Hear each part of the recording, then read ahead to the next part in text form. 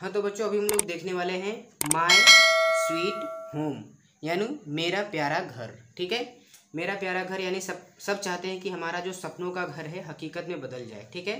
तो जैसा कि ये बच्चा है, इस बच्चे का नाम क्या है? क्या बोल रही है? हाय आई एम टिंकू यानी ये लड़का क्या बोल रहा है? मैं टिंकू हूँ this is my sweet home यानी हाय मैं टिंकू हूँ, यह है मेरा प्यारा सा घर, ठीक है? उसके बाद घर में बहुत सारा पार्ट्स होता है, यानी घर के अंदर क्या क्या चीज़ें पाई जाती हैं, वो हम लोग देखने वाले हैं, ठीक है? तो जैसे कि ये क्या हो गया? ड्राइंग रूम यानी बच्चे का क्या है ये? ड्राइंग रूम है, यहाँ पर बैठ के कुछ भी कर सकता है वो। ये क्या है? किचन जहाँ पर खाना पकाया जाता है।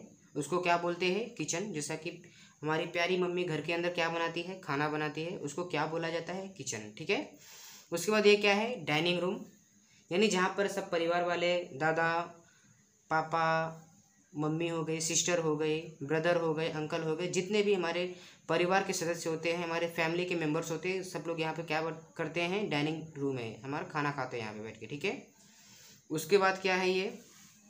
उसके बाद क्या आता है ये है बेडरूम ठीक है? ये हमारा प्यारा सा बेडरूम है। इस बेडरूम में हम लोग क्या करते हैं? ऑफकोर्स हम लोग स्वीट स्वीट क्या करेंगे?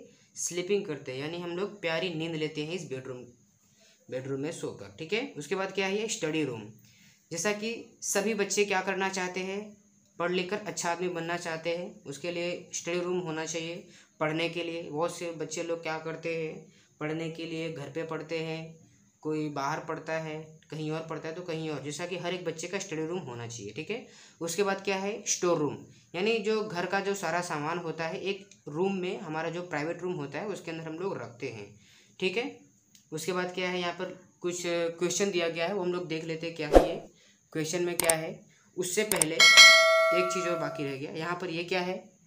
ये है बाथरूम जैसा कि घर में हम लोग सुबह सुबह उठते हैं ब्रश करने के लिए जाएँगे तो ये हमारा क्या हो गया? ब्रश करने के लिए टॉयलेट हो गया। ब्रश करने के लिए हमारा बेसिंग है यहाँ पर टॉयलेट करने के लिए जो भी है और बाथिंग करने के लिए सब कुछ यहाँ पर अवेलेबल है इस रूम में, ठीक है? डू यू नो क्या आप जानते हो? How many rooms are there in your home क्या आप जानते हो कि आपके घर में कितने रूम हैं? Name any three things kept in the bathroom अब ऐसे तीन चीज़ों का नाम बताओ जो बाथरूम में पड़ा हो। जैसा कि यहाँ पर शोवर होता है है ना? बकेट होता है, वाटर होता है, बहुत कुछ होता है, ठीक है? उसके बाद क्या है यहाँ पे? What does your mother do in the kitchen यानी आपकी जो मम्मी है, प्यारी मम्मी किचन में क्या करती हैं? ऑफकोर्स खाना बनाती हैं, ठीक है?